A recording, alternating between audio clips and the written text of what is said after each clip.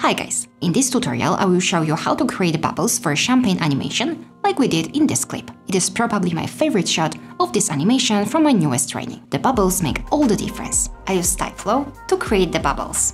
It is a plugin that allows us to create particle simulations and fluid dynamics. In this tutorial, I use a free version of this plugin. Here is my scene. I have a glass object and a liquid object inside. Let's create a tyFlow object. I will rename it to keep the file nice and clean. Next, I will duplicate a glass object and call it an emitter. We'll use this object to emit the bubbles. I will remove the top polygons and then delete the outer shell. I want bubbles to be created only at the bottom half of the liquid, so I will delete the top polygons. Again, I will add a push modifier. I will push it 2 mm inside. Great, now we can open the tyFlow editor. Let's start by adding a birth node, and then add a position object. You can press Tab for a quick type. Here I will pick my emitter object. The bubbles are not visible. I will change the color to bright green. Here they are. I will also change the display mode to large dots, so we can see them better. Great! I have to adjust the timeline settings. I will switch to 25 frames per second, that's the frame rate in my animation, and also increase the timeline length. You can see that the bubbles stop being created after frame 100. I will go to the birth node and change the end time there as well. I will also increase the total number of particles. Great, now we can move them by adding a force. Let's drag it below the position object. We have to add a positive force to move the particles up. I will make it slower.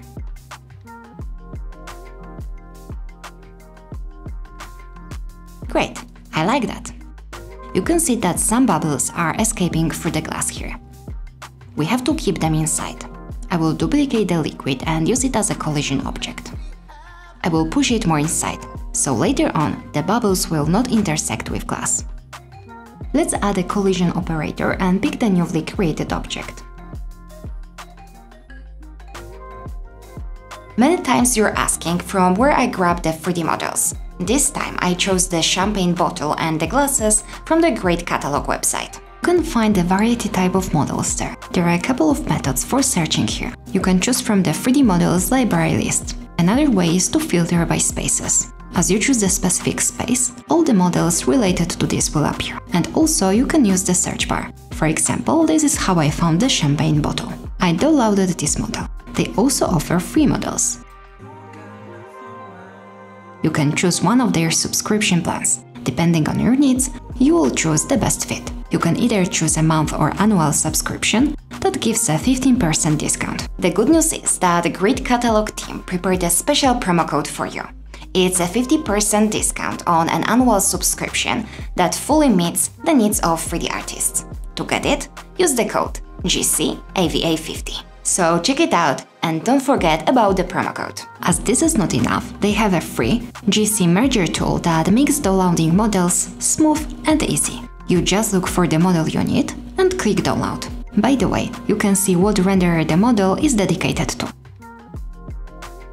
And now, just merge, and the model is in the scene, ready to be used. So check it out and don't forget about the promo code. Going back to the topic. Great, for now, let's delete the top polygon though.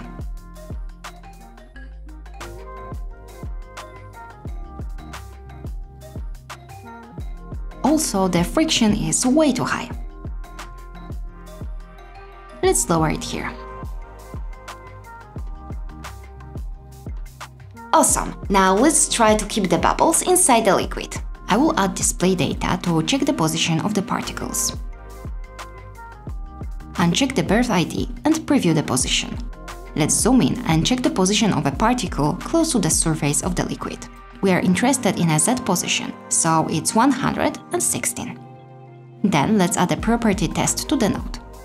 I will move it down and disable the display data.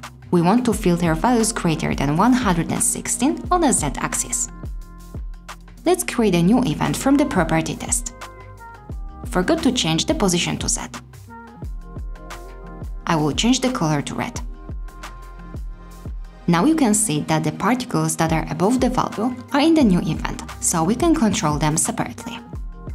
Again, I will duplicate the liquid and use it as a collision object.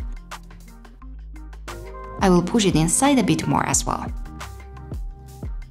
Let's add a collision operator to the new event and pick the newly created object.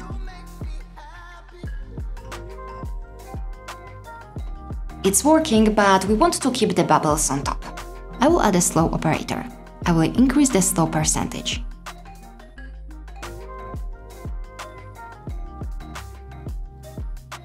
I will also reduce the friction of the collision object.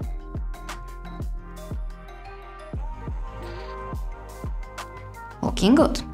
As we have a good base done, let's add some variations to the bubbles going up. I will go back to the force operator and add a noise. Let's increase the strength and adjust other settings.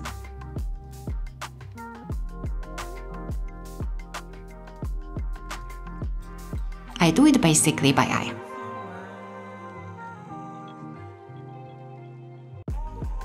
We have to lower the scale. Even more.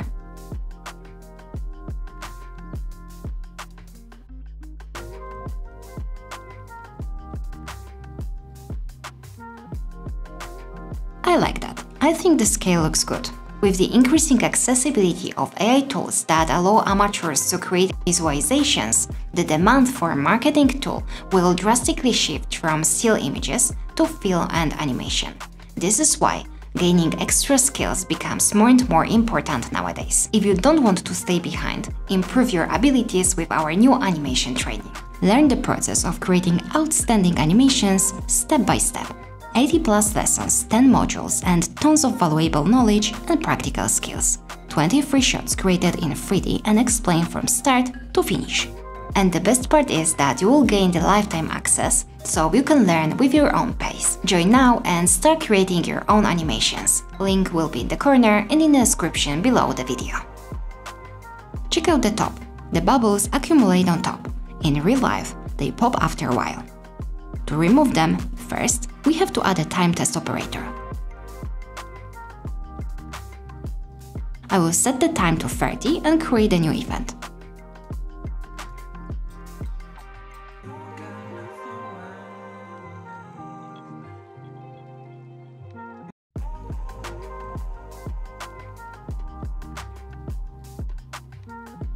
Can see that after 30 frames, the red dots get blue, so we can control them with event 3. Now simply add a delete operator to the new event. And here it is. That is the difference.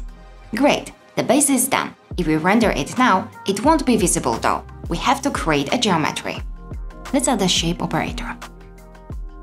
I will use a 3D shape and change the type to geosphere. It didn't appear in the viewport because we have to change the display type. And here it is. Obviously, they are too large. I will adjust the scale. I will also add some variations. They are too small. Let's increase the scale a bit. That looks better. I will also add a scale operator and adjust the scale based on time. I want them smaller at the beginning and then larger closer to the surface. I will use a relative add type and adjust the settings. Here is how it works. I have to make the increment smaller.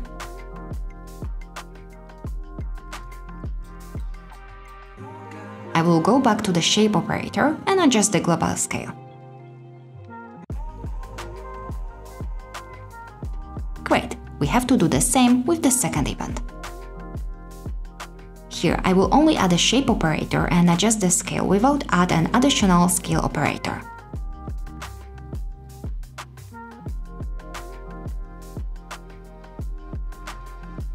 Looking good. Lastly, I will add a force to the second event with the noise, so the top bubbles are moving a bit. Let's adjust the settings. Change the type to curl and adjust the strength.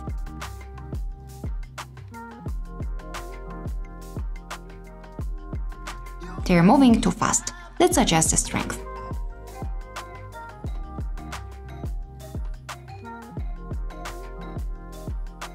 Now it looks better. I think the scale could be larger though.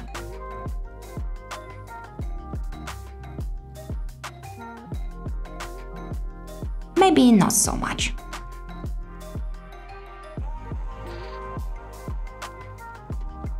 Now I think the strength could be a bit larger as well. A bit too much.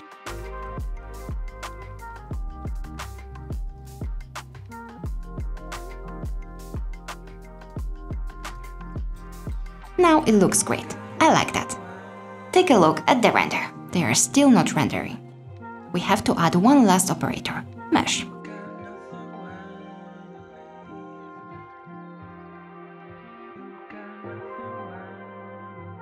Now they are rendered. Let's add the mesh operator to the second event as well. We can just copy and paste it.